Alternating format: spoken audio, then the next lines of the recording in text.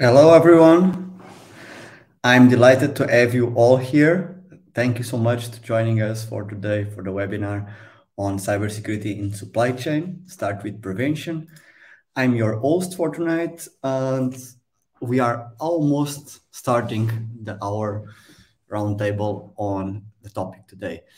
As we all know, we live in a digital era right now and supply chains are becoming increasingly dynamic and complex with multiple vendors, suppliers, and parts involved. The complexity brings an increased risks of cybersecurity threats, which can severe, have severe consequences on the overall supply chain and business operations and can impact our daily to daily lives as a society. In this event, we will discuss about the best practices and strategies for preventing cyber attacks in the supply chain, and we will focus on our on four main themes. Before we go there, uh, please drop a like if you are watching us from YouTube or LinkedIn, uh, and feel free to comment. We will have a question and answer session in the end where you can also uh, put your questions to our uh, speakers. Um, so don't be shy, please uh, we can have uh, we can delay a little bit because we are I, am seeing everyone joining now. Uh, so let's talk about the four themes that we are going to address tonight. First one, we are going to address assessing third-party risks. So we are going to to learn how we can identify risks, we can mitigate risks, and also accept some risks. We are going to see the differences between third parties SaaS cloud solutions versus open premise, on premise, sorry. And we are going to address MSSPs and external security providers, the risks on this as well. And of course, we are going to focus on ethical hacking. And of course, I'm a little bit biased here as CEO of Ethiack, but we are going to see how ethical hacking is the most cost-effective solution and the, more, the better way to prevent cyber attacks. In the end, we will have this session uh, question and answer. So please, if you are watching, just drop the questions on, on the chat. We have our team to pick and select the best comments uh, and questions, and we are going to ask our speakers to answer them before the, the close of the session. And also we are going to have uh, a little bit talk after the end of this, this the roundtable about Ethiack and about how can our product help you um, prevent cyber attacks in the supply chain. Um, so without further delay, I think we, I can present our speakers. Uh, we'll have a lot uh, of different backgrounds here. We have speakers that from different different perspectives. We have people that manage large supply chains with thousands of providers and suppliers, and people who develop systems to optimize these supply chains. So the providers and suppliers of these the supply chain management systems, let's say like this. And we also have ethical hackers. So we can also have the perspective of the person who is attacking the systems for ethical reasons, of course, uh, to identify the vulnerabilities on the systems so we can better protect them, them right? So whether you are a CEO, a CISO, a CIO, a cybersecurity professional, or even someone just connected to the supply chain that is working there, uh, I believe you can gain a lot of knowledge from today's uh, roundtable, and you can get new insights. And I hope this will be useful for you uh, and informative. But please uh, don't forget to follow us, to give us that like, give us that comments. And if you have any doubts, don't forget to, to comment on the chat. And I think we can start by presenting uh, people. So the first speaker that we have today is Rafael Carvalho.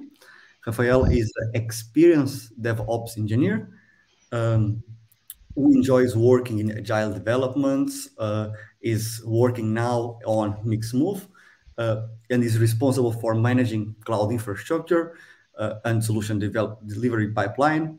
And Mixmove is basically a platform for logistics optimization, supply chain optimization. And so Rafael will also play the, the perspective of the supplier. Hello, Rafael. Nice to have you here. Hello. Hello, everyone. Nice to be here. Yeah, uh, Mixmove it's a large uh, software as a service company that we have a, a really large clients and we deliver uh, the all the logistic uh, platform for these clients. And Ethiack uh, is a really valuable uh, partner of our security journey in the cloud environment. Thank you, Rafael. Uh, Mix, Mixmove already has the ISO also implemented, so it was a long process. Uh, and we can also talk a little bit about that. I think it will be nice to, to know how you guys are dealing with that. Uh, the next speaker will be Luis. Luis Valente is a cybersecurity manager at MC Sonae. Uh, he has previously coordinated the Computer Security Center at the University of Porto for more than five years and is also a guest lecturer in several university institutions such, such as ESP Gaia, ISEC, Porto Business School. Uh, so he has a lot of background in training in the cybersecurity area, uh, and his background is network engineering and computer systems. Here he plays the perspective of the manager of a user organization in the retail uh, that deals every day with supply chain rights, and there is multiple providers, and the cyber attack could impact the daily of millions of people. Am I right, Luis? Yes, you're right, George. Thank you, everyone. Good afternoon for for today. Um, yes, MC, that uh, maybe it's more uh, usually known by Continente. It's our branch of Sonae Group for food retail, essential. But it is a, um, a company that serves more than a half, uh, a quarter of market in the retail food sector. And we have more than 4 million clients, for example, in our loyalty card. So uh, a, a, small uh, problem in all these uh, different the warehouses process, the stores process, or the loyalty process have a huge impact for a lot of people in the market. Um, we also are um, a very innovative company. So we, we opened the first autonomous store uh, in Europe. Um, so you, you can go to the shops and buy your products, choose your products, and get out of the, the store without losing time on, on the caches. So we are always trying to push and deal uh, with different technologies and trying to get a better user experience for our clients. Thank you, Luis. I think it's Sonae is working with a lot of solutions, and I think it will be nice to talk a little bit on you guys lead with this deal with all these these risks, right? And the last uh, speaker will be Jose. Jose Moreira is application security analyst at Farfetch. Uh, behind beyond his passion for information security and hacking, um, is basically application security analyst, but I know more himself from his crazy hacking experience. Uh, is one of the best hackers that I have the pleasure to meet. Uh, and is basically has worked a lot as a security auditor for other companies such as Agile InfoSec, Checkmarx, and so many others. And I think he has more vulnerabilities that I can count. So nice to have you here, Jose. And I hope you can give your perspective as an hacker to this panel. Yeah, um, hello everyone. Thank you for the, the invite. Uh, yeah, you, you bring us a really interesting topic today.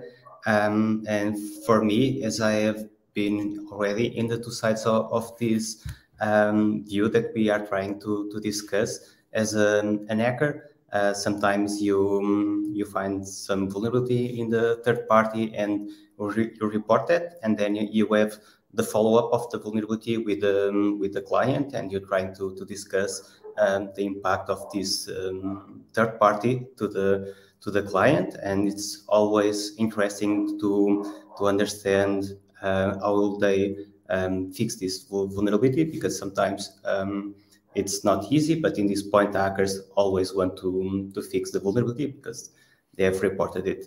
And um, in the same uh, subject uh, also work on the other side as um, someone that is on the client and receives um, a vulnerability from the, the third party. And it's also very interesting to, to deal with this matter inside because our perspective changes a lot and um, in, in this side you're trying to, to secure your company and also you have the um, the things that you don't see as a as a, um, a, pure hacker and you you need to to talk with the developers. You need to understand um, the business the context um, so we can can find a, a solution that uh, could fix this third party that sometimes we can um, get a fix or not because we will depend on, on the the third party but it's always uh, interesting to to deal with this. Yeah uh, i think it's it's very interesting to have like this these both uh, uh, ways of looking to the same subject, right? So yeah, uh, thank you so much for having here. And finally, I, I will present our moderator for today. And it will be André Baptista. André Baptista is the CTO of Ethiack. Uh, is also an hacker, an ethical hacker. He has more than 10 years experience on ethical hacking. He's an invited professor at the University of Porto in information security and has won multiple international awards. Some uh, in Portugal call him the uh, Cristiano Ronaldo of cybersecurity. Uh, it's what it is, uh, and I, I, I, it's really good to have you here to to basically moderate this debate and make this these people think a little bit more about cybersecurity and basically push them to tell us the best insights that they have in different perspectives. So without further delays, Andre, I, I, I let you uh, present this all this uh, panel, uh, uh, the topics, and make questions. And I see you guys at the end.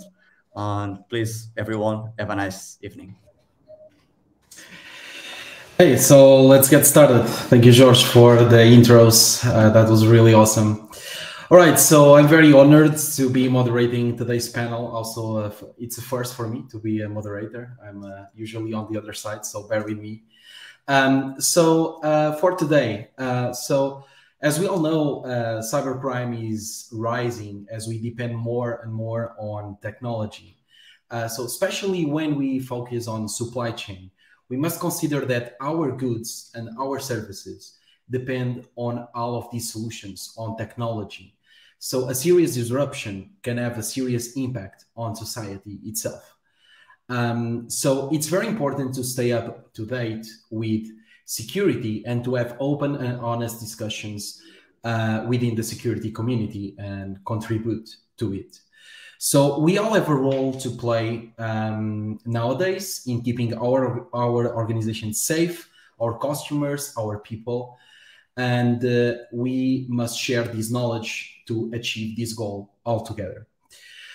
Uh, so I'm very excited to hear from our panelists today, and I hope that this discussion will bring some uh, knowledge to the attendees uh, to improve the security posture on their organizations towards a safer digital world. So thank you all for joining us today and let your friends know or your colleagues know that this is happening because this can have a lot of value for your organization. So um, let's talk a bit about third-party software. Uh, so the third-party software is used by almost all organizations uh, today. So this type of software helps them, the organizations, to be cost-effective, to reduce costs, to be scalable, and to be able to integrate those uh, solutions with their own software and systems. Um, however, introducing these solutions can potentially lead to security issues. Um, so we are not focusing right now on third-party security software related with security, but in general. Okay. Uh, so uh, I would like to ask. Uh, we can start uh, with Luis. Luis, what do you think uh, that are the main risks associated with third parties that we are using? Uh, and of course, if you can disclose, how many times did a third party resulted in the exploitation or the identification of, vulnerab of vulnerability in your organization?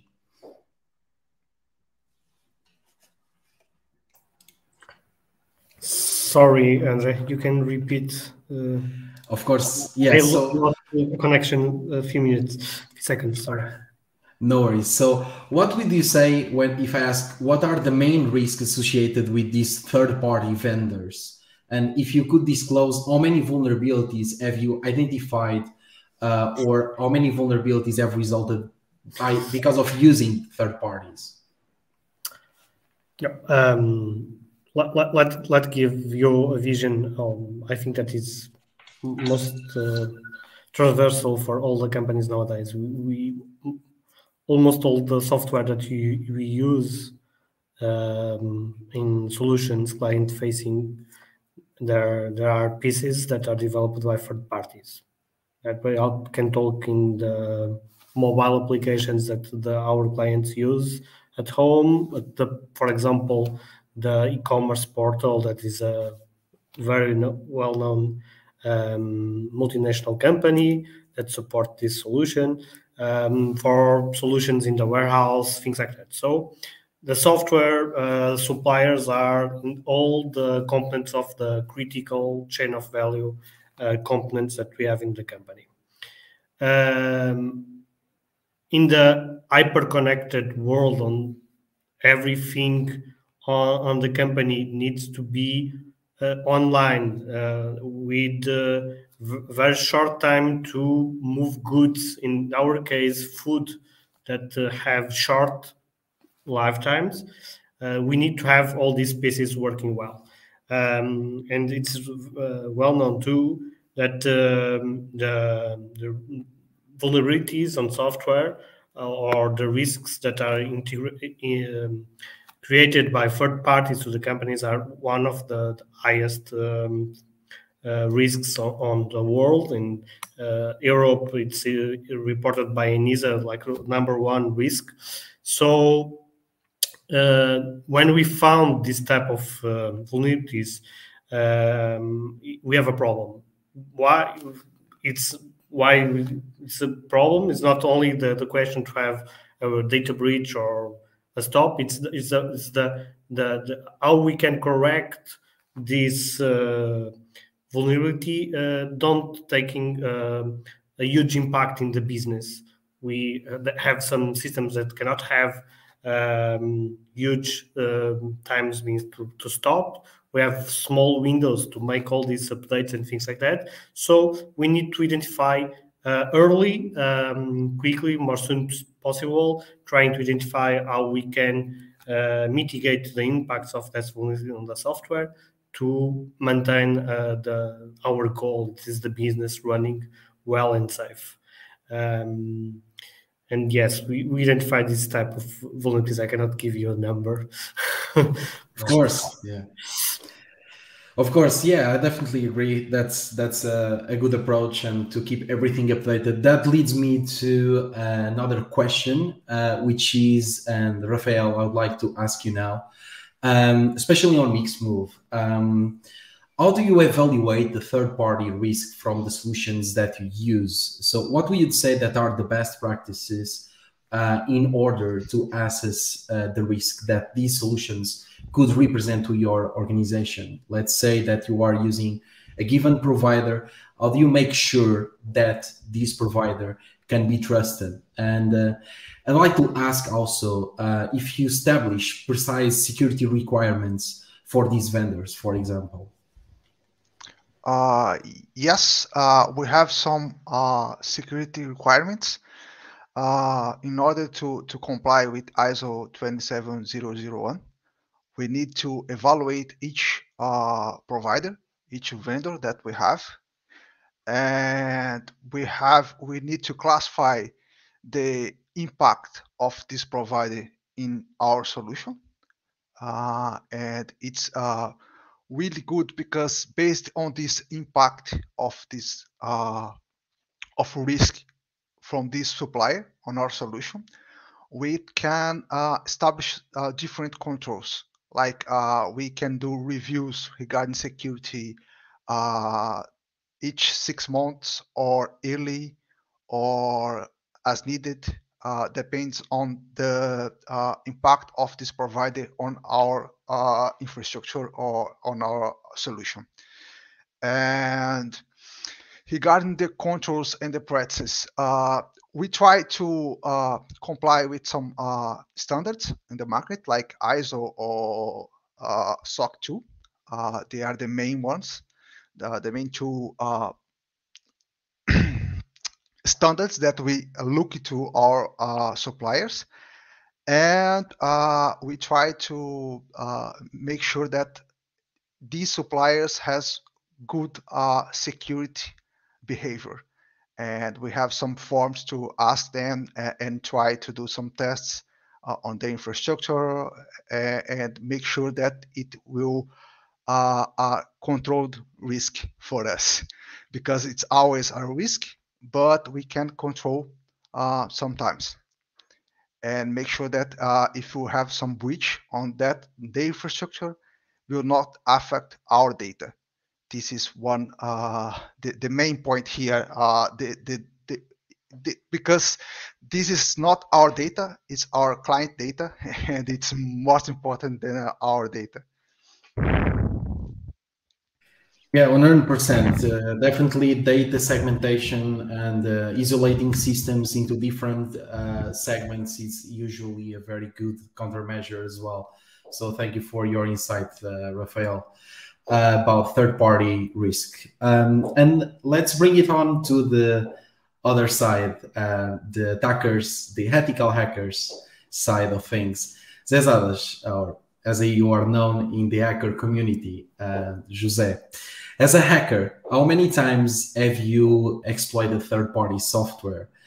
Um, is it usually more secure than the organization owned applications? Uh, by organization owned, I mean organization built software in house. Um, it, it depends. Um, as for a number, yeah, uh, I found some of this type of vulnerabilities time to times um, it, it, appears. It's always um, a risk. Uh, it always happens and will be happening um, a lot. Um, as for uh, a risk by, by itself, um, it depends on the, the context because if we are thinking um, about, uh, for example, open source library, sometimes people that develop that um, library do not pay any attention um, about security because maybe sometimes it's just an open source project from even the college or, or something like that. So um, on those type of third parties, um, there is almost none security at all. Um, but then um, there are some other scenarios, as for example, buying a known service from a, a third party and on, on those kind of um, services, um, yeah, of, co of, course, there is um, a lot more security than, than uh, on other types of third parties. So um, yeah, there, there could be some, some dangerous, um, um, but yeah, it, it, also depends on, on the, the, the context of the, the part, third party that we are evaluating. Makes a lot of sense. I also agree as a ethical hacker, uh, especially the libraries um, things that, that you mentioned as well. Uh, what do you think that would be also to add to this this this question? Uh, what would be the best countermeasure to keep all the libraries updated in your opinion? Uh, would be like to make sure that on the pipelines, all of these is like checked such as Dependabot or other solutions that come to your mind? Yeah, of, of course, you can have software that will warn you if you have some um, software um, outdated, but we need to um, to think that sometimes there are there are vulnerabilities that are not known. Um, someone that there could be a, um, a, group of people that knows about a, a vulnerability, but the rest of the world, the world doesn't know it. So sometimes, if we think like oh, there is a, a security patch and I need to, um, to do the update. So I always um, be strict to um, just the security patches, but sometimes uh, just by, by doing the, the regular updates, we can also prevent some unknown um, vulnerabilities. Uh, but of course, this is a, um, a complex subject because um, libraries tend to be more updated than that than our own code. So time to time, the libraries start, uh, start to, to change and you need to adopt your code. Um, so it, it's not totally plausible that you, you could uh, always be on the, the last versions of your third party. Sometimes you need so, some time even to, to test test the, the new version if nothing breaks. So um, yeah, theoretically, um, you should uh, update. And of course, we know uh, what would be the best practices, practices and the way that we, we should uh, do the, the updates. But in the real world, uh, it's not easy. And um, sometimes um, there are no, no ways to, to update a, a specific library because we can also can be using a, um, a, library that uh, is not maintained anymore. So it's even a, a, bigger risk because we have something in our hands that we we need to to replace, and replacing this uh, at the moment uh, it's difficult. So yeah, we, we need to to evaluate the, the risk first and then have our countermeasures. Yeah, definitely. And the legacy components that you are mentioning are usually very, very painful. I, I think that we all here have this this pain sometimes in our organizations, of course. Um, but yeah, so we are talking about lack of updates, uh, being uh, one of the main reasons for um, uh, the third party uh, being um, a threat to, to organizations as well, as well as libraries and so on as a conclusion for this, the first part of this uh, supply chain uh, roundtable. And also, of course, you, you didn't explicitly say, Jose, but also when everything else fails, we can still try to hack it and see if it's we can get in, right? But we'll get there in the in the end to the ethical hacking subjects. Um, so um, talking about uh, third parties, uh, there are uh, two main types, let's say, of, of third-party software that we can use, if we can classify like this, but um, we rely on third-party SaaS or cloud-based uh, external hosted third-party by the third party itself on their infrastructure, or it could be on-prem, right? So um, these solutions can be um, the, the ones that can be hosted on the organization infrastructure are not usually so uh, common today. We have a lot of subscription-based, contract-based software that we can use uh, online. Um, but there are some security implications of uh, picking uh, these these two types, one of these two types of third-party uh, solutions, such as, uh, as an example, like Jira Cloud or Atlassian Cloud solution or on-prem solution or GitLab or uh, lots of software that we all use, right? Um, and these are key parts of our uh, software as well, uh, and the way we build our software and we manage our systems and our teams and even our operations, right? So I'd like to ask Luis, um, what are your uh, key considerations um, that organizations uh, should take into account when they are deciding between using third-party, cloud-based third-party solutions versus on-prem solutions? Uh, what, what is the rationale here? Yeah, um, let me put um, from side the, the, the, rationale about if we need to go to cloud or not. There are strategies in companies, and from our side, we have a strategy for cloud first uh, and, and full. Um, so in our company, we when we start a project, we know that that will be supported on cloud mainly.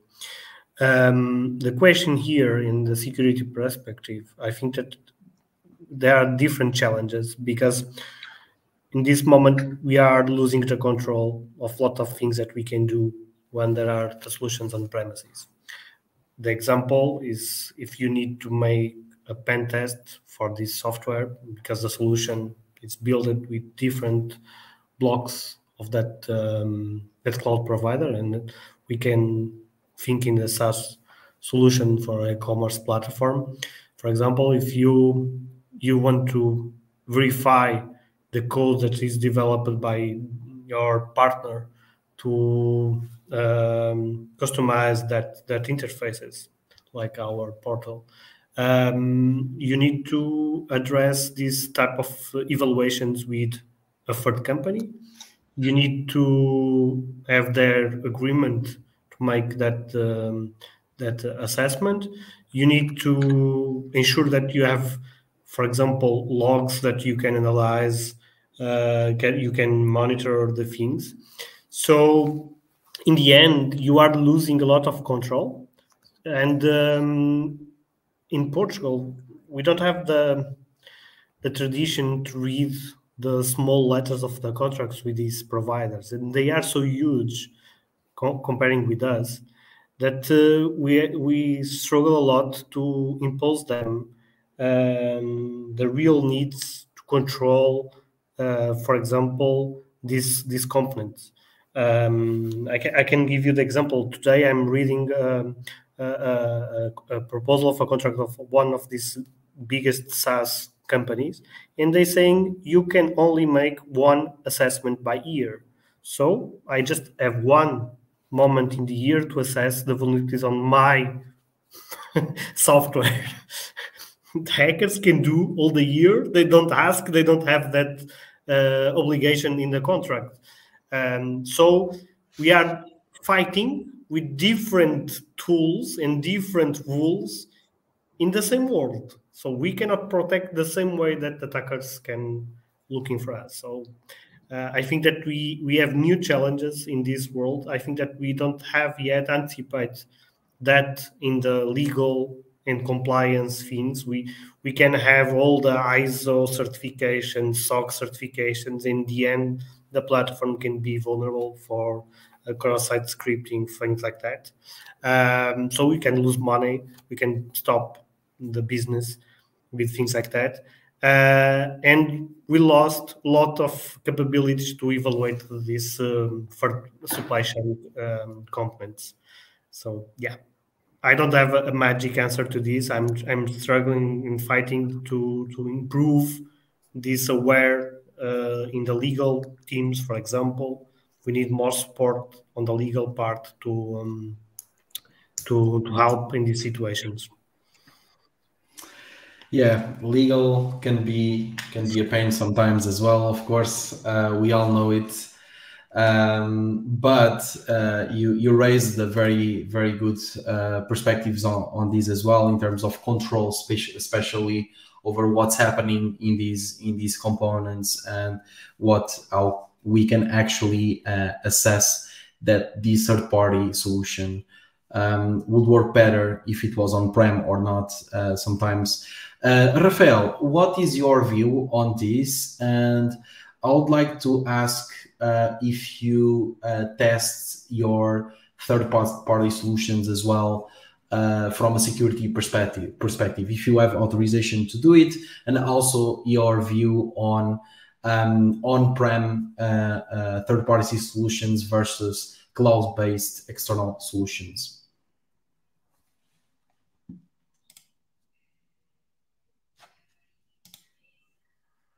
Uh, sorry, Rafael, you are muted right now.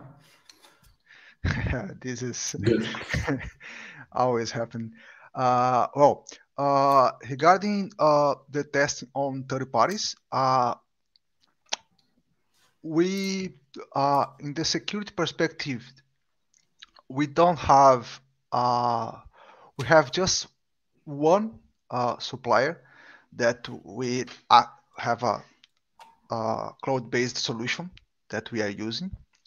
Uh, and for this supplier, we yes, we we, we can uh, make some tests on specific environment, uh, but it's really really uh, restrict tests.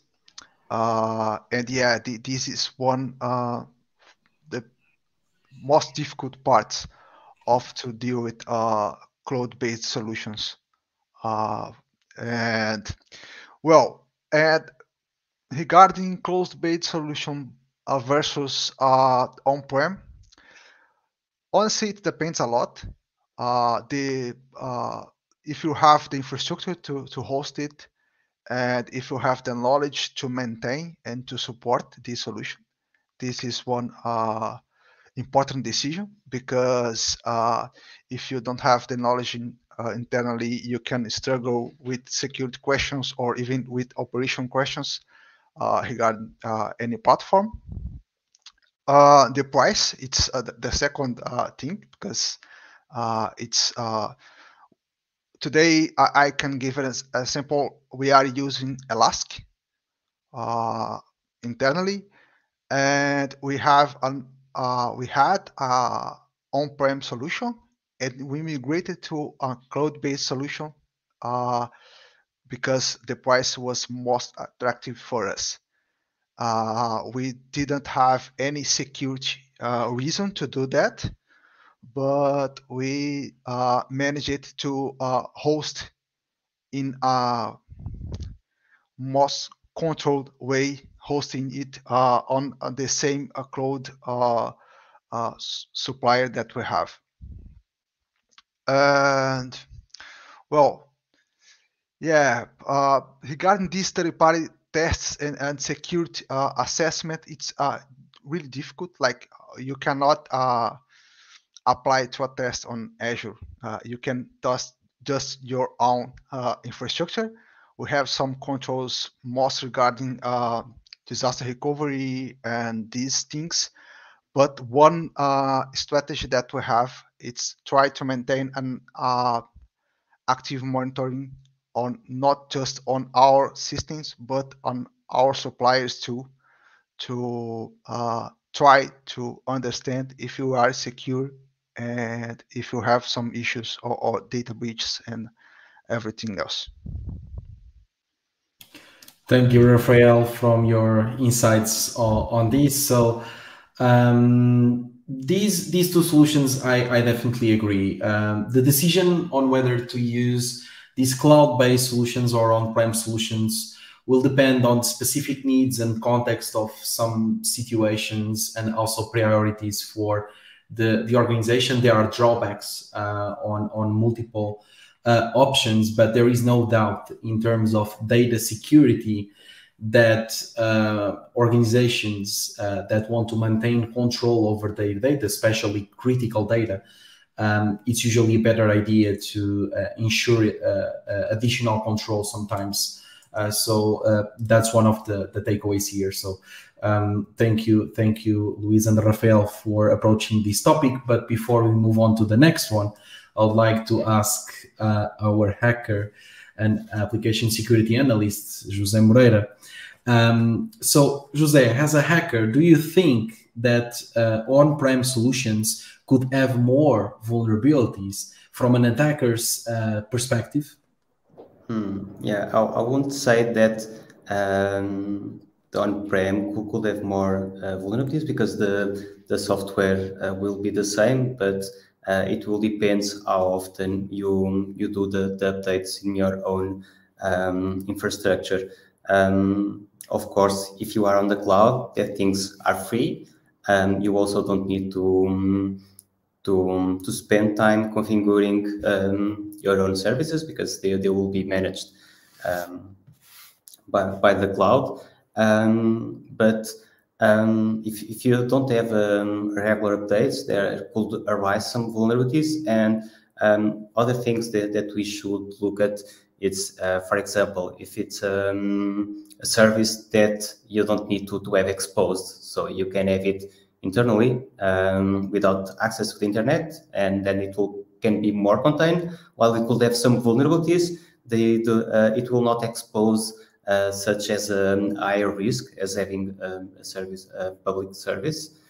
Um, but um, the, the, vulnerabilities um, are there, and if we have this kind of services inside our company, um, for example, um, there could be another connection um, inside the, um, the network that could get you to, to that service. And for example, uh, if an attacker gains remote code execution to that machine that is in, inside your infrastructure, then the attacker will be right away inside your infrastructure. While on the other end, um, if it's a cloud and if there is such a bug that an attacker could gain um, a remote code execution, as an example, um, it will not affect your own internal infrastructure, only that cloud. But of course, the impact will be even higher because it will not affect affect just you, but also the other companies that, that are that are using that service. Yeah, that's that's a very good point. Uh, actually, uh, it's always about the segmentation, right, on the internal network as well of that component. So we could have a similar situation if even if it was on prem.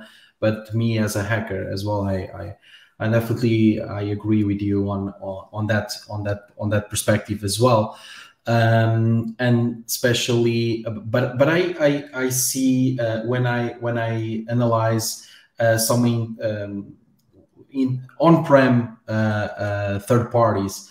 Um, they they tend to be more outdated a lot of times, and that could have CVEs that can be exploited, common vulnerability and exposures um, that are common vulnerabilities affecting the software.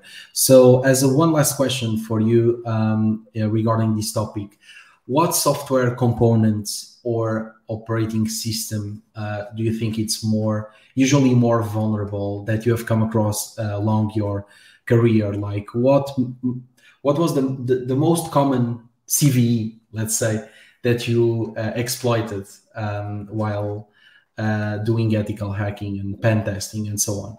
I would go for the, um, the example that it's more public on that matter.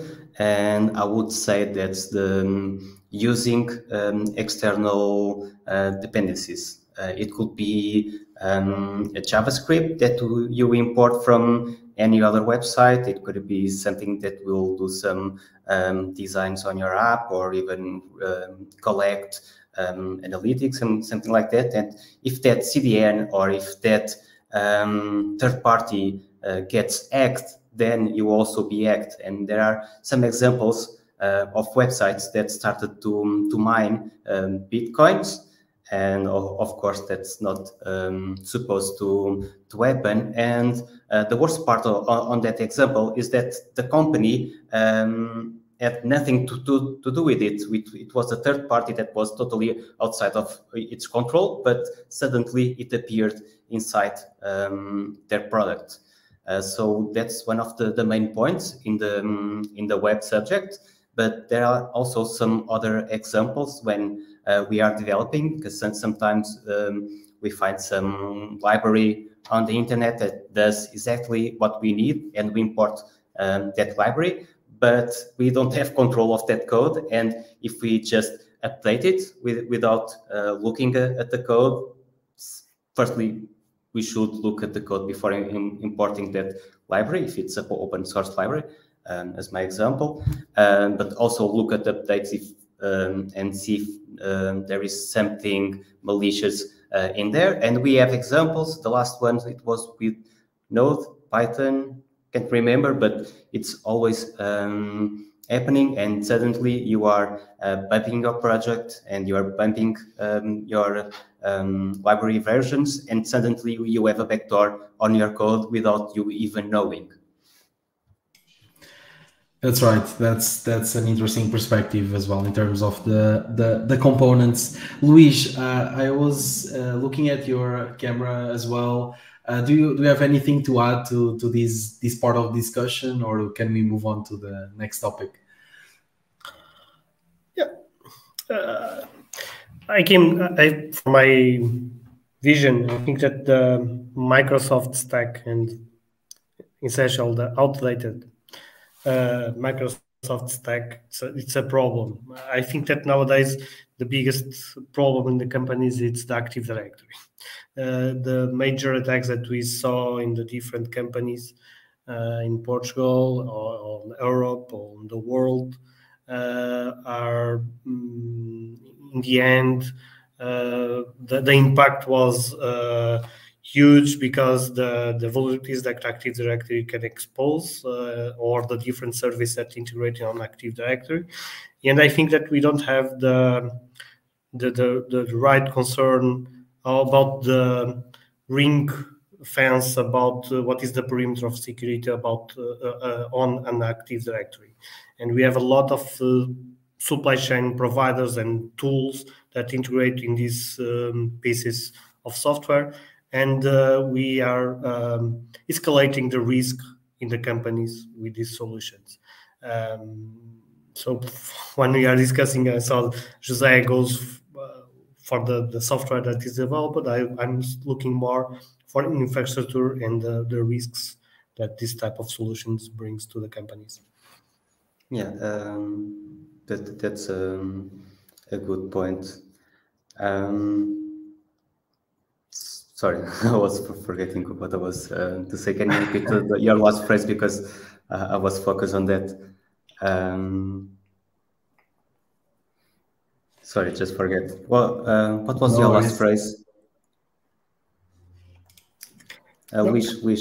No, no, I'm saying that the um, the active ah, directory. yeah, the active directory. Okay, okay, yeah. okay. Uh, I remember. It's because uh, since in your own company you cannot uh, totally control your your third party, uh, and that that's a, a question that uh, I have for both of you. Um, do you think that you can rely on contracts and NDAs? for example, if that third party um, has a vulnerability, um, as a, um, a security risk or some think um, some malicious actor gain some um, privileges there and uh, um, extract some information, do you think that you can pass the responsibility to the to the third party?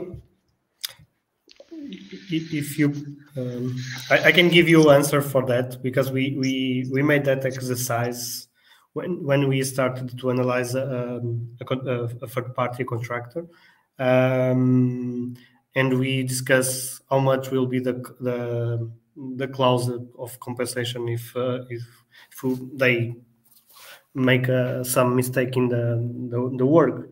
And uh, somebody says uh, you need to remember that you are a company that um, each year uh, has a revenue of 6b um, so you are so huge for the size of the usual companies in Portugal that nobodies can have insurance or something like that can support and pay you the risk that uh, maybe they are doing for you.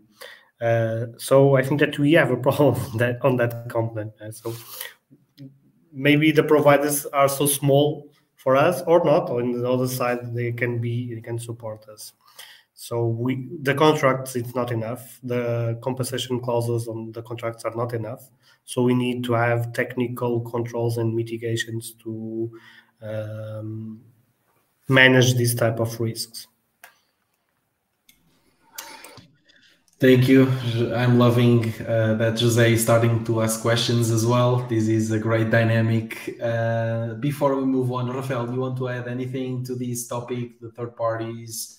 And vulnerabilities and so on, feel free before we move on.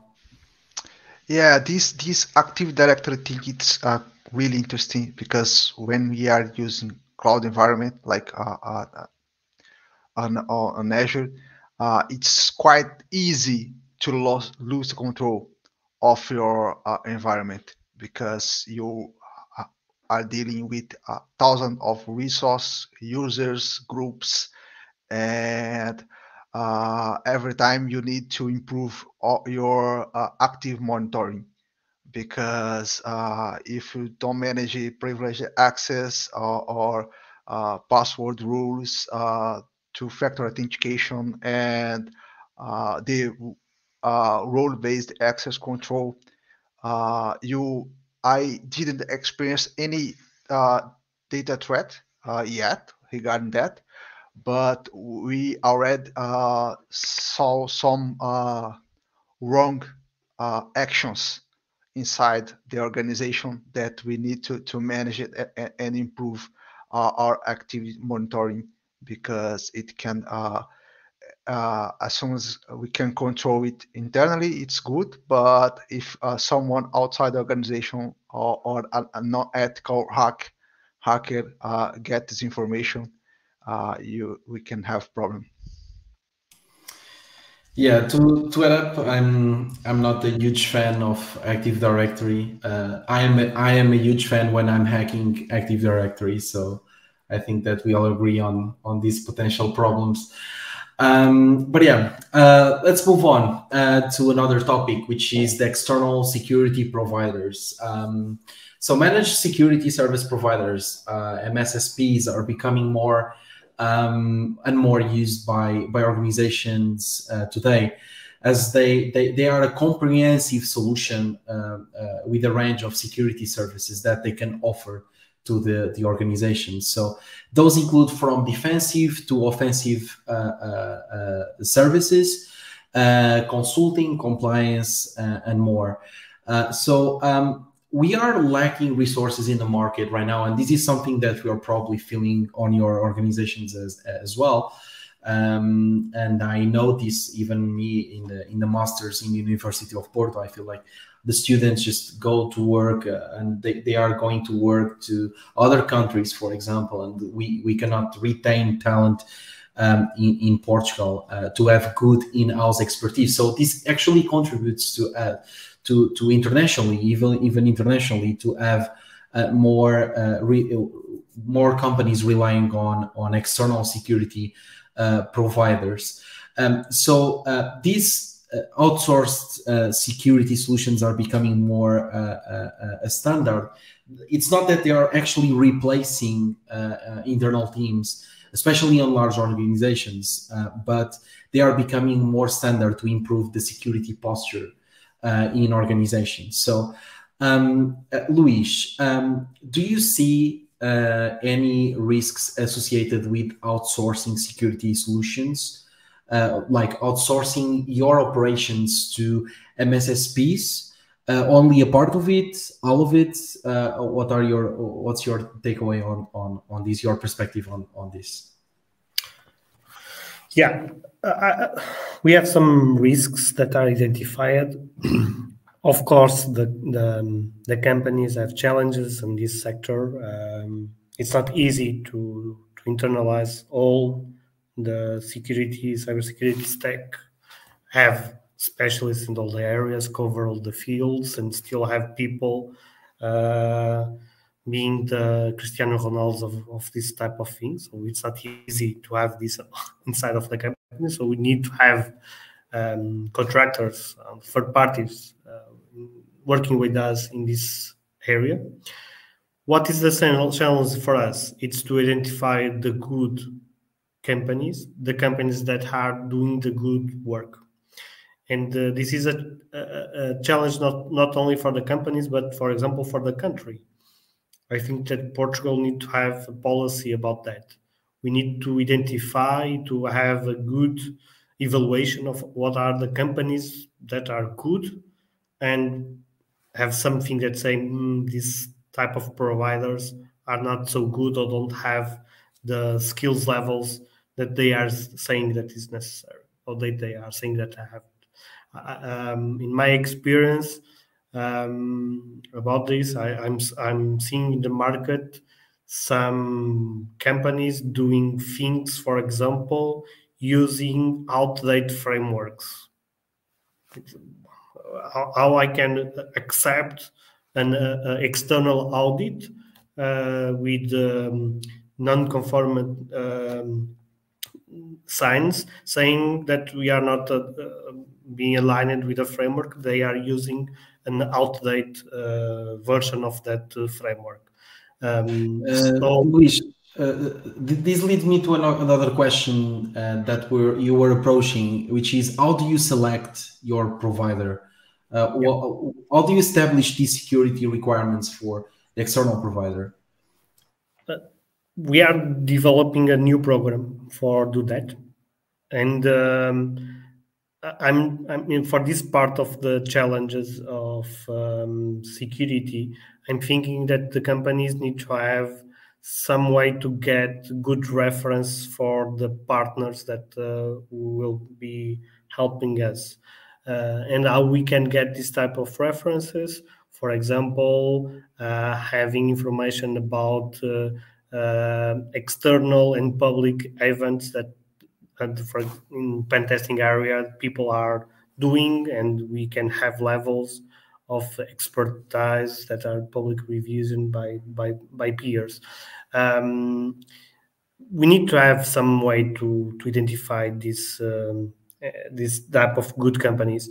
Um, other option that we are discussing for example is to start to to for some uh, areas have a requirement that the companies need to be certified not only by international uh, standards, but for the national um, seals uh, of National Cybersecurity Center. Uh, it can be one way for consulting, for, for example, SOC operations teams. For pen testing, I'm, I'm, I'm looking more for um, external uh, indicators that can be review, reviewed by peers. Yeah, the, now that you talk, Cybersecurity Center of Portugal uh, is doing a great job on and moving on, on on this on this path as well in order to to perform this type of um, let's say uh, vetting these these these providers. So that's that's a good move for our country as well. Um, uh, Rafael, um, going back to the first question, but on your perspective, which is, uh, do you see any risks uh, associated with uh, externalizing your uh, security? And what are the disadvantages or advantages uh, from your perspective? And i would like to ask as well if you lack resources in house or not. So what, what's what's your approach to to this topic? Yeah well uh, regarding the risks yes we have some risks here but uh, the, the most difficult part is to select these uh, partners uh, regarding security because we have some uh, new partners in the market we have old partners in the market and they have different approaches. We have some big partners but uh, sometimes they are really really expensive for some organizations and they uh, uh, as Luis said uh, sometimes they are using old frameworks and some things that you don't understand why they are offering security uh, uh, consulting but they are using strange and old approach. For us yes for, for, the company as mixmove looking to these partners it's really important we don't have hundred or thousand uh, uh, employees at the company, and to growth, uh, we need to select the, the right partners uh, regarding security because uh, we don't have any of these uh, knowledge people in place. And well, I I believe depending of the area of the security, like network infrastructure or even uh, active monitoring or security monitoring as uh, pen testing. Uh, we need to, to look at the market. Uh, we have some uh, tech radars to, to, to go to the market, understand the, the, the companies, but we don't have a recipe to that yet. Uh, we, we are in trying to build it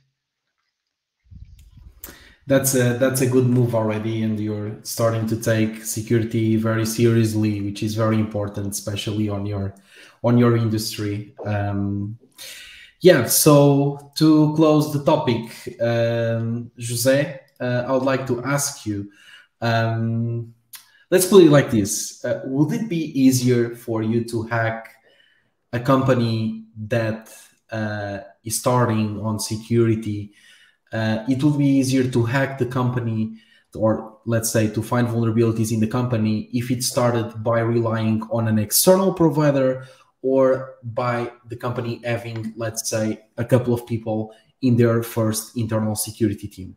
What, what what's your your view on this? Um, yeah the, that's a complex topic.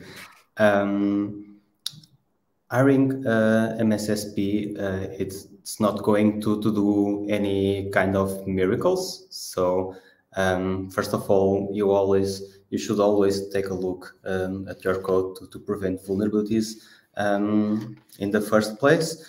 But since you are relying in, in a MSSP, um, they should have way more knowledge from that they, they got from other clients and other situations that they can uh, transpose that to, um, to your own company and bring you um, high level of security maturity. Um, but sometimes um, the vulnerabilities are, are there. Um, MSSPs um, sometimes cannot uh, cover all the um, all the company scope. So um, there always ca can be some kind of, of vulnerabilities.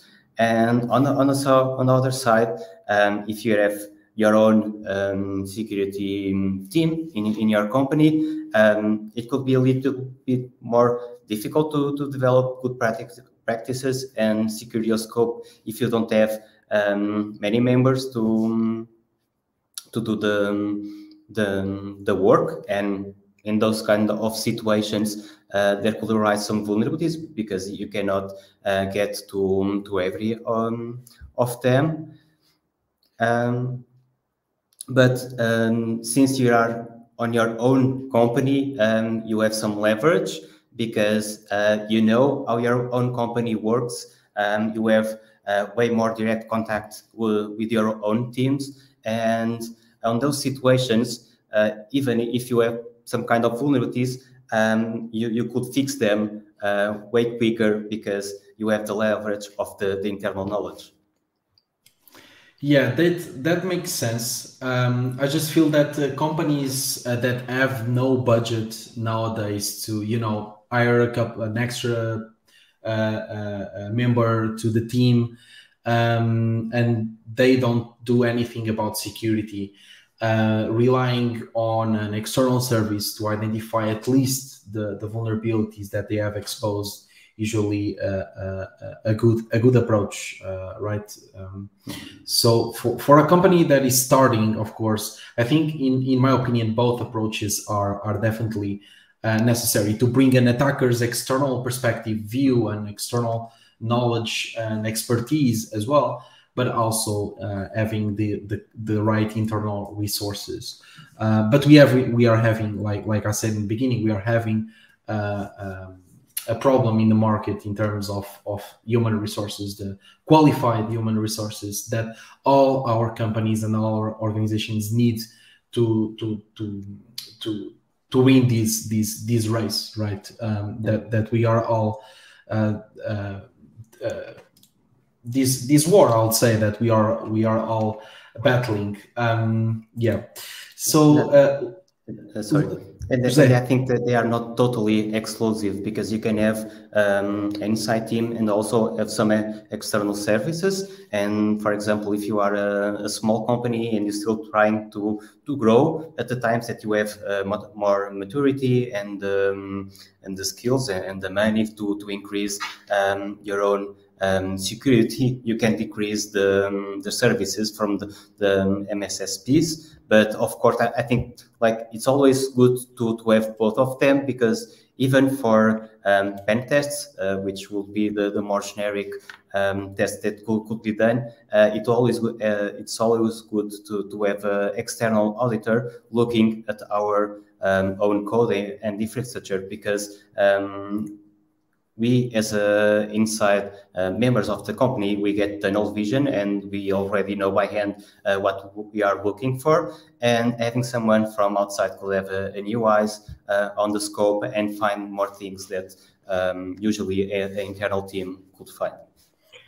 Yeah 100% luis you want to add something here? As... yes because i agree with this opinion and i want to give you the vision that um, one of the things that I'm trying to do is to have the the best partner for each action that we need to do in this ecosystem of um, protecting a company.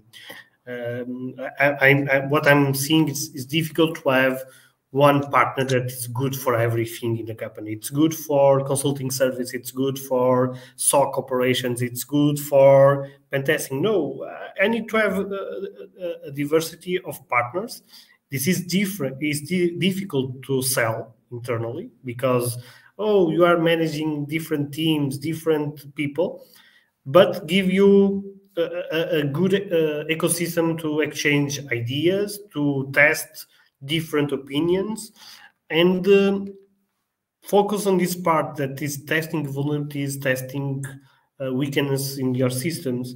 Uh, i agree with jose we need to have different persons, different visions, different ideas uh, testing the things. Because if you are always making tests with the same the same company, the, the same team, always making the same type of scans, the same type of assets, you are losing the the big picture of the company and uh, your attack surface it's it's being still exposed. So we need to have uh, a, ecosystem that can bring to, to you a balance between uh, like we say checks and balances. We need to trust and very but verify things like that in the, our uh, security approach. Super super interesting. Uh, rafael you want to to add something here? No no. Uh, uh, i like this uh, Luis said uh, was uh, it's pretty uh, that i think about it because uh, it's important to, to have a, a, an outside view of your posture. Uh, and it's really important. Uh, I believe if you have just an internal team, sometimes this team will uh, will not uh, doing the the work uh, as the a fresh person inside the organization. Uh, this is it's really different. Uh, even we, when we are developing some code, uh, if we test this, the code that we developed, uh, sometimes we uh, lost something. Uh, in the security perspective, it's the same. Okay, so I think that we are all aligned and we all agree on on this on this on this topic. Um, all right, so moving on to the last topic, which is ethical hacking. And ethical hacking is, is, is a way for companies to uh, stay ahead of the attackers, uh, sometimes by identifying vulnerabilities. Um, uh, a lot of companies have been buying defensive security, they are buying firewalls, and I'm pretty sure that on your companies, we you have that as well of course. You have edrs that work very well and other solutions but there are companies that only rely on defensive security and they don't actually care or they are afraid of bringing the offensive security side of things to the organization. I'm not just saying externally but also internally uh, because they are afraid uh, of doing this uh, sometimes. Um, so um, but we are seeing that as cybercrime becomes more, becomes more lethal and more uh, unpredictable, um, there's a growing shift uh, in having well-defined policies to report vulnerabilities, pen testing, bug bounty programs, offensive security, uh, and bring the attacker's perspective, either with internal teams or external providers. Uh, so there's this race to stay ahead of the attackers and ethical hacker can help to to identify these these uh, vulnerabilities and reduce the risk of of exploitation. Uh, so uh, I'd like to start again with Luis as usually usual. Um, how hard is it to make decision makers to increase their budget uh, for offensive security uh, or to even trust ethical hackers to uh, be playing as attackers doing a critical job in these in the times that we live on. Okay this is this is a challenge and i i have the experience uh, of work in the public uh, sector and the private sector and i saw the difference of mindsets of the, the c level of each of these type of organizations. Um, let's see uh, the i think that the first problem is the word hacker when you say we will contract a hacker, everybody uh, have afraid of that because we are uh, contracting a, a, a, bad actor. Uh, it, it, it, I think it's it's, it's a um, something like that uh, that that don't help us um, on the uh, first of all. The second is the question that everybody uh, wants to buy technology that solves all the problems so you sell the idea uh, that uh, everybody can buy a scanner that will identify all the vulnerabilities. And uh, this is something that is in the, the, minds of the people. Why I need to contract services if I can bought a, a, a software that will find everything that have a nice dashboard with light of uh, high and critical things. And um, I think that is the um, a mission for the people that is managing this type of um, responsibilities of the companies that need to educate the the, the, the decision level the, the, the, the managers of the companies that there are differences. And uh, bringing the attack the attacker's perspective to the defense can help us to identify and anticipate um, some points that the traditional and by the book uh, rules maybe can uh, fail. The other things that we are doing or mindset that, that I'm sharing is that this uh, human verification is the checks, is the moment that you are verifying if the everything that you applied by the policies, by the technologies, and everything it's working like we expected. It's a, it's the test. Like you make um, drills for the fires uh, and things like that. We make drills for uh, the um, the IT solutions. For that we use ethical hackers. Um, I, I think that we need to work a lot in Portugal about this awareness. Uh, for example, it's almost prohibited to, to talk about bug bounties. If you say this word in the company, everybody start looks to you, uh, saying what what crazy word you are saying. Um, when we are talking about responsible disclosure, everybody says why, and, and I think that's a problem because our law saying that the the, the test of a vulnerability it's a crime so there is a mindset that we will punish everybody. The the long arm of the law will capture all the guys that are doing these things that we know is not true. We need to work with the people that know how to make the attacks to, to better defend and to prosecute to the attackers that really are doing the the, the bad things in this uh, cyberspace. Yeah, we have a lot to do. I, I I'm not sure if you have seen the the the, the news in uh, in Belgium uh, in terms of responsible disclosure. That was a huge step for for for for them, and I hope that we can get there uh, soon as well. Yes, but let me bring. I think that we need to work in the the national strategy for the cybersecurity that we'll be discussing this month in Portugal uh, we need to put these topics in the agenda. We need to change the way uh, of these things are being discussed and uh, what is being shared. Uh, uh, for example, I, am using this sentence I, the Portuguese software houses are so good. How many CVs you know about um, Portuguese software? There are no vulnerabilities disclosure, for example you have a lot of softwares that uh, covers hospitals municipalities things like that and nobody's disclosed the vulnerabilities about the software. Yeah we need to do something about that. Yeah that's something that scares me a lot and our our mission in the in the Ethiack is actually to to help those um, to identify vulnerabilities on on those components as well. That's that's something that we we care a lot about, and that's something that we want to prevent from happening.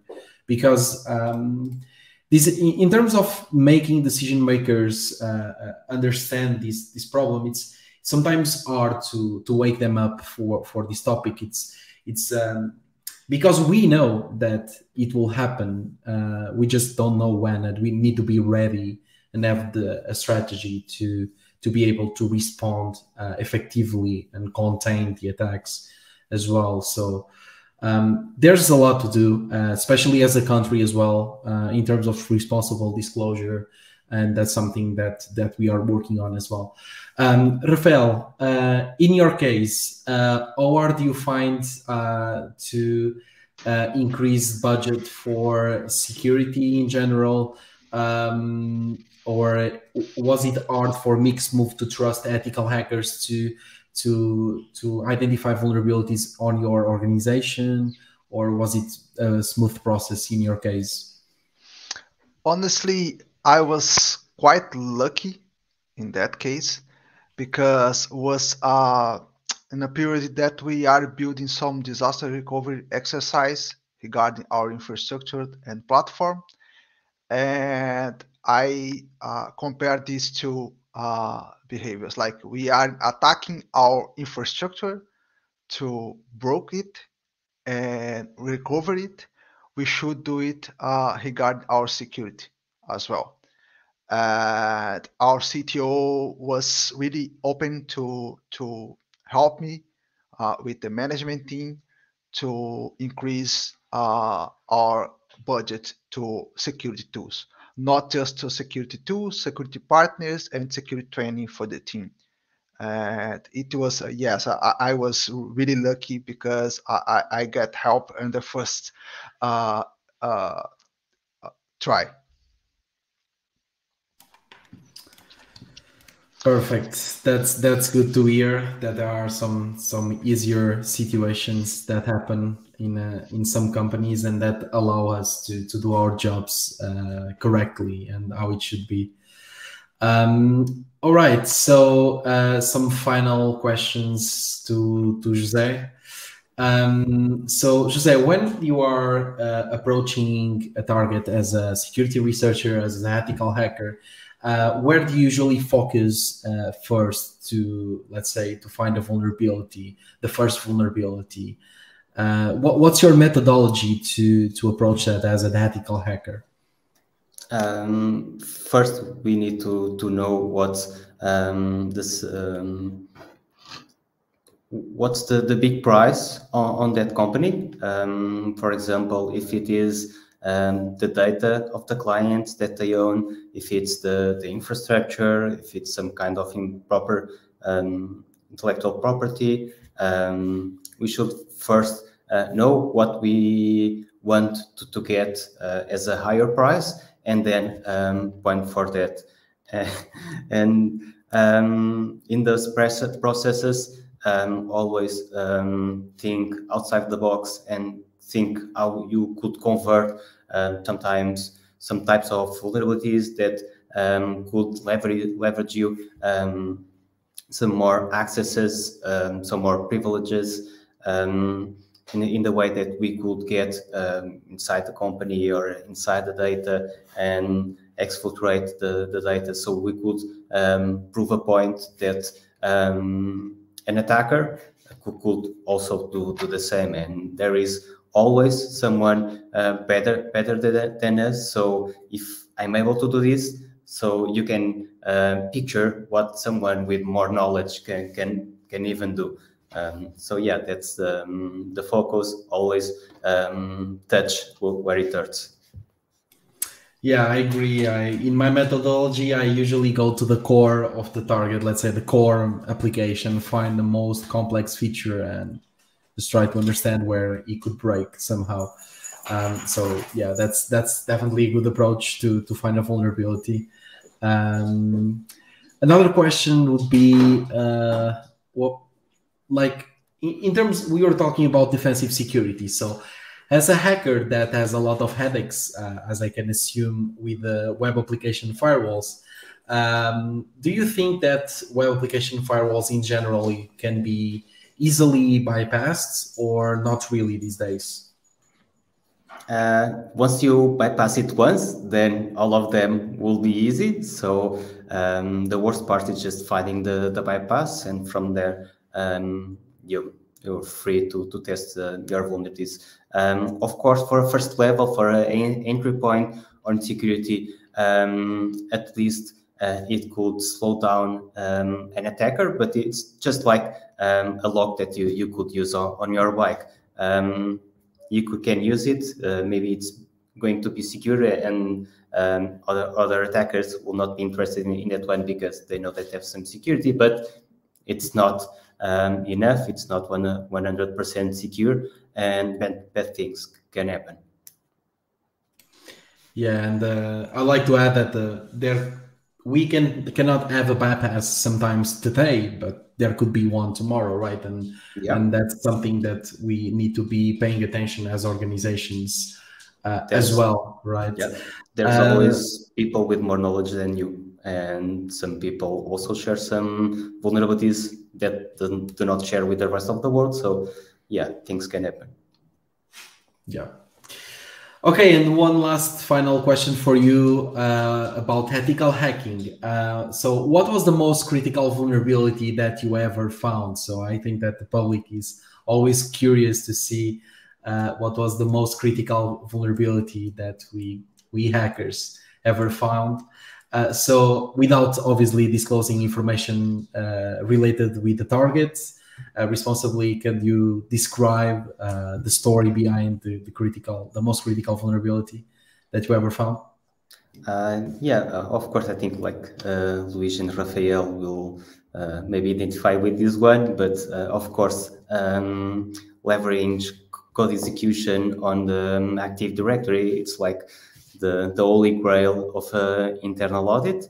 And times to times, um, it's not easy to, to get there. Um, I think like my rate would be uh, 100% uh, of success getting to um, to admin. Um, but the, the, funniest part of, of that is um, cooperating uh, with your colleagues and share the, the knowledge and um, bringing up um, each other vulnerabilities and fitting them together so you can construct a chain and you get to the holy grail that would be the, the active directory. So that would be the the most interesting um, the most interesting vulnerability. But of course the, there are other types um, of vulnerabilities um, in the web context. It will be um, gaining some kind of remote code execution. Also but on, the, on kind of scopes uh, for me uh, the more, most interesting interesting bugs would be access to sensitive data. Um, that's always good when you, you can get to, um, to passwords, even if they, they are um, hashed. Um, and yeah, extracting um, information can also hurt, um, hurt for the, the company. So it's always interesting to, to find them. Thank you. Thank you, Jose. Uh, that was great. Active Directory, of course, it's it's, it's challenging, but when it breaks, it's it breaks. I, I definitely agree.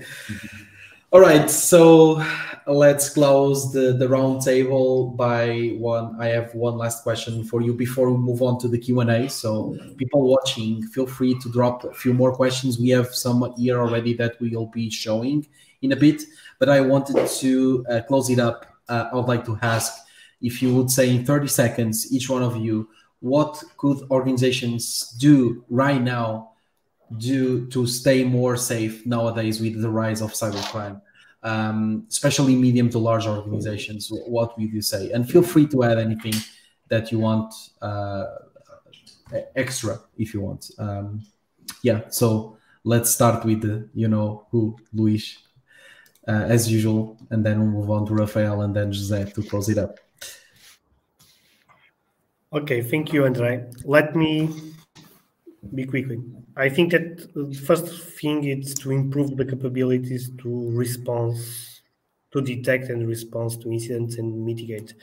Uh, I think that we need to go to a alert level that uh, you first stop the the threat. You need to have the empowerment to block a connection to stop a server, to stop the network in some place of the business uh, before uh, a, a, threat can uh, uh, target your, your full organization. I think that is the, the first mindset. The, the, the second is test, verify your attack surface, detect your weakness points, um, good make a good analysis and continuous analysis about your uh, posture essential in the external uh, view of your organization.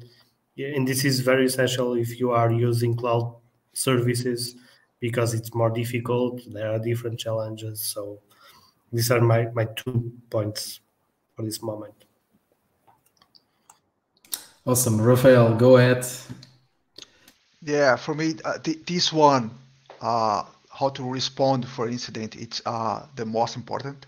You need to, to, to stop it uh, as, as soon as possible. And uh, the second one it's uh, active monitoring. This is uh, really really important to, to try to prevent uh, some different behaviors on your infrastructure or on your core or on your systems. Auditing, they are really important things to be the first one to know what happened on your infrastructure or on your platform. and the active monitoring is the, the most important thing for me when I'm talking about uh, uh, security and operations. Great, thank you, Rafael. Jose. Um, what do you have to say?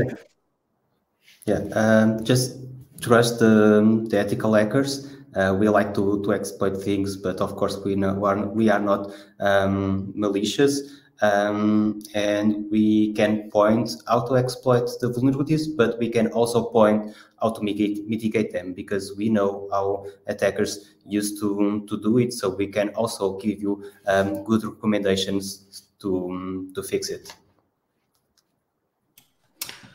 Yes, I I agree. We need uh, we need to have more organizations to understand what we do. It's not black magic. It's it's way different than that. And yeah, we were talking about demystifying the this word. And yeah, I I hackers, in my opinion, like we we are here to help people and organizations. We are hackers. We are not crackers. We don't do this for the money or to leverage our power uh, with the the weak right? So and for our own profit. So that's not us. That's that's cracking right? And that's something that we are doing here. Um, all right. So let's move on to the questions. Uh, we have a couple of questions in here. Uh, so uh, regarding let's get, get, go back to the on-prem versus cloud. Uh, when choosing what to keep on-prem and on the cloud does that data classification take a strong word uh, you can see the question here. Uh, anyone wants to go ahead and give a take on on this?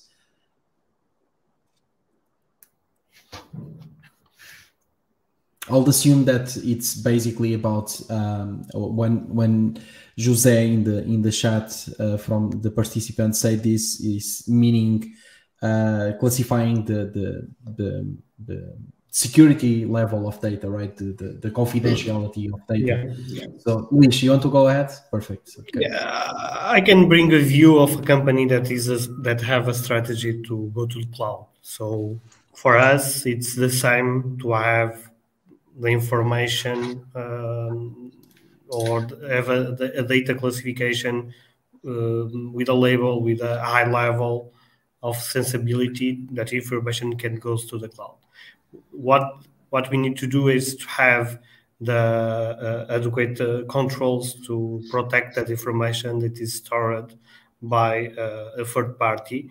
Um, and of course, the challenge that we uh, discussed early, there are all in the table. There are a lot of different technical controls that we need to, to address. There are um, compliance controls that you need to, to add to the contracts and things like that um, and uh, we need to, to manage that. I think that cloud nowadays it's inevitable. The companies are going to there and they cannot uh, fight against this, uh, this this type of things. So we need to to adequate our risk to um, to this type of challenges. Thank you, Luis. I'm not sure if you Jose or Rafael, if you want to, to add anything to, to this uh, point, feel free if you want. Okay, so let's, uh, we are running out of time to the final part of this uh, webinar. Uh, uh, let's pick another of the questions. For example, the last one. Um, does a strategy for security should include upcoming trends as a vector of threat? Uh, has been predicting these, these trends. Uh, so being one step ahead and aware of the ever-changing landscape, uh, what you guys recommend? So what do you recommend to be be able to predict these upcoming trends as as vectors for for our organizations.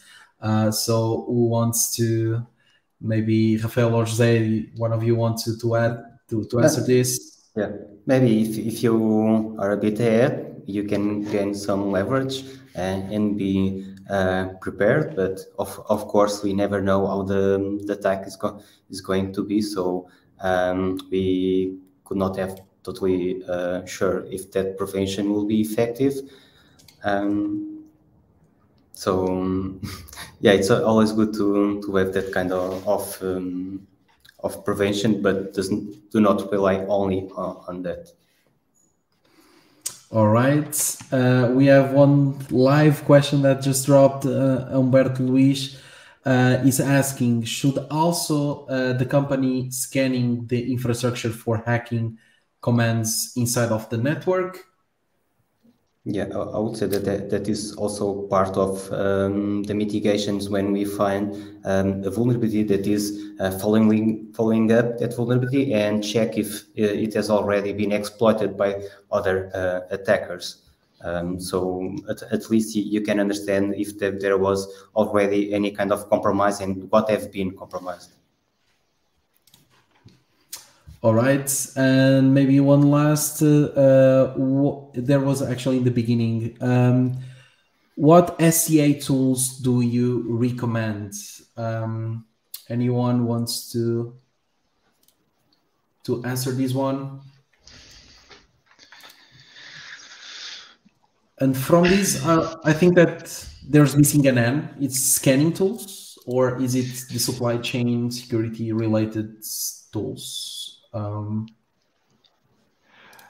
I believe oh, um, uh, yeah. software composition analysis. Uh, yeah, yeah, I like. Yeah, yeah. I, I recall it's a it's static analysis based tools. Yeah. Okay.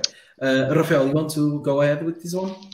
Yeah, Snyk. It's a good tool uh, to to uh, go to your uh, libraries and check it uh, if everything is updated. You have uh, any no uh, vulnerability, but yeah, this is a good one. But you have quite a lot of uh, at the market uh, doing the same. Uh, Dependabot can be one of uh, these type of tool. It's not specifically that, but uh, do the same of Snyk like. Yeah, that makes sense. Snyks uh, Snyk helps a lot as well, so that's definitely a good recommendation for for that. Uh, all right, so I think that we can close the Q and A part of this, and uh, I would like, as the moderator, to thank you all for for coming as well, and to to be able to uh, have this this discussion, this open discussion here uh, with uh, every uh, single one of you. So thank you so much uh, for for coming. It was it was a great pleasure. So uh, right now uh, we'll uh, have we're going to bring George here. George, you're back.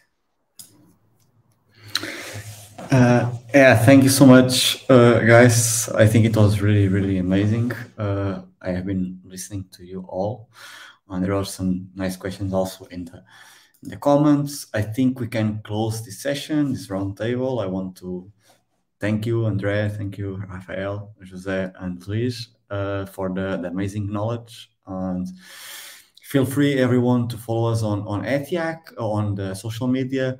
Uh, to close, I have some announcements to do. Uh, so uh, bear with me for some slides and then we can close the session. Okay, so we're going to talk a little bit about Ethiack for the ones that are not uh, uh, uh, familiar with Ethiack, what we do, we do basically prevention. We do that by doing autonomous ethical hacking, as we call it.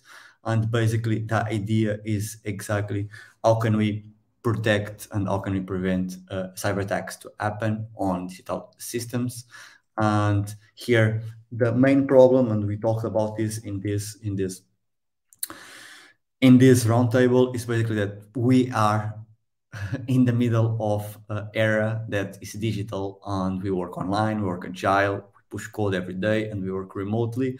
And this makes our infrastructures really big. And if we talk about supply chain that exponentially grows, And this is makes most of our infrastructure exposed attack surface and unknown.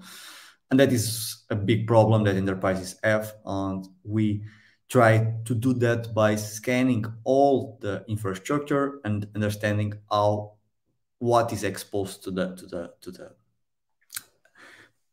to the online, right? And that allow us to manage our attack surface easily. Uh, the main problem, and we talked about this, I, I took that takeaway also from this webinar, is that we need more testing, right?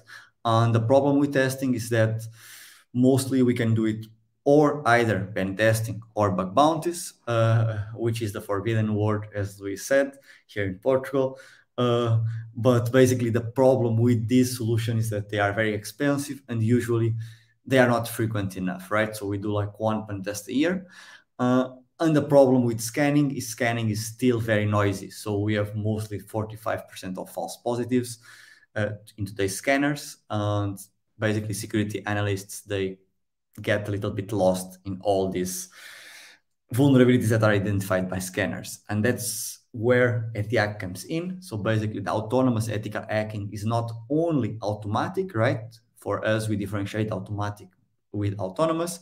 And what we do here is that we developed uh, some artificial hacking. So that is way more than a scanner, and we will see uh, in a minute. But the idea is we can do attack surface management and testing continuously to the exposed as a black box testing and to exposed uh, assets that are on the on the internet. Uh, and then we also have ethical hacking, which can go in depth on the digital infrastructures. And that complements artificial hacking. So instead of us doing a pen test per year, we can do multiple pen tests every year. Uh, and the hackers can focus exactly on the vulnerabilities that the machines didn't find, which improves a lot the accuracy um, of the, the, the scanner and also the continuity of the testing, right? And the idea is how we learn with ethical hackers every day for our machines. So I'm not going to be very specific here, but the idea of artificial hacking is that we are much more than a scanner. So basically we identify vulnerabilities with a low false positive rate. Uh, we have less than 1% in our automatic solution. Uh, and we can do that because we use proof of vulnerability. We also have technology that allow us to, to understand what changes in your infrastructure. So we are not always overcharging your infrastructure. We understand and we scan it as it, it grows or as it changes. Uh, and we have advanced security testing modules in our automatic. We also have a concept that we call instant knowledge propagation, and that only what we believe is that everyone needs to be protected in a collaborative way. So if we all, all of our clients and users they benefit each other because if we find a vulnerability in one of them, we automatically will test in the other ones. And that's what is instant knowledge propagation. Then we have ethical hacking, and that you know uh, um, it's basically with hackers like Jose Moreira, like Andre, like other that they are on our crowd. And here we use a crowd of ethical hackers, such as bug bounters, bug bounty hunters. But um, the idea here is that it's a mix between pen test and bug bounty, and we do vetting on these uh, hackers. The what allow us is that we allow us to get skills from worldwide, which is not possible with internal teams. That's something that we also discussed here in this roundtable. Uh, these allow us to be the testing is the most creative and logic because the machine already found most of the CVEs and most of the basic vulnerabilities that we can find. So we can really go in depth with the human hacking hours. Uh, and um, we have really good talent hackers that have discovered vulnerabilities in big organizations, right? So the idea here is we have two plans. We have machine and symbiotic. The machine is you can get already secure with only the artificial hacking, but you can also work with us on the symbiotic plan, which you have a bank of hours that you can use to launch multiple pen tests every day, and you can launch pen tests in days. Okay, so um, if you want to know more, you can you can reach out to me. I will show you. But the idea is exactly that we do in our Ethiack portal, we do attack surface management and vulnerability identification, and you can see here a report submitted by our automatic um, part uh, we call Genesis, the first artificial hacker, and every technical report comes with steps to reproduce, description, impact, and also suggested mitigations, how to mitigate those vulnerabilities. Um, I'm not going to go uh, in depth because the idea here was not to talk about Ethiack.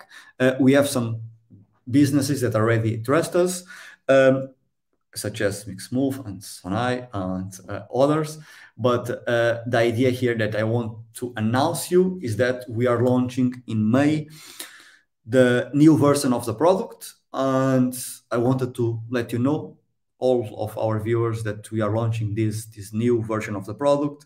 It will be completely new, uh, the UI UX interface, and you will have you can have a, a, view here that is supposed to be confidential yet, but I just put it here for you to uh, see how our user interface is completely new. You will have the machine hacking and you have the dif different pen tests and you also have a risk score and we'll have also uh, the severity of vulnerabilities and you can classify assets according to their their importance which will give you like this risk score based on the severity of the vulnerabilities in the assets that you are being identified so uh, we are basically opening uh, this sign up for the new portal. So if you want to try the old version, you can sign up uh, on portal@yak.com. If you want to test the, the be a beta beta user, you can also contact me is my email here.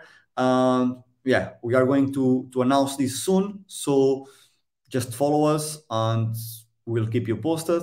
And thank you so much for coming to this to this uh, um, roundtable. We are Ethiack. Um, once more, thank you for all of the panelists that come here today. See you guys soon. Uh, bye bye.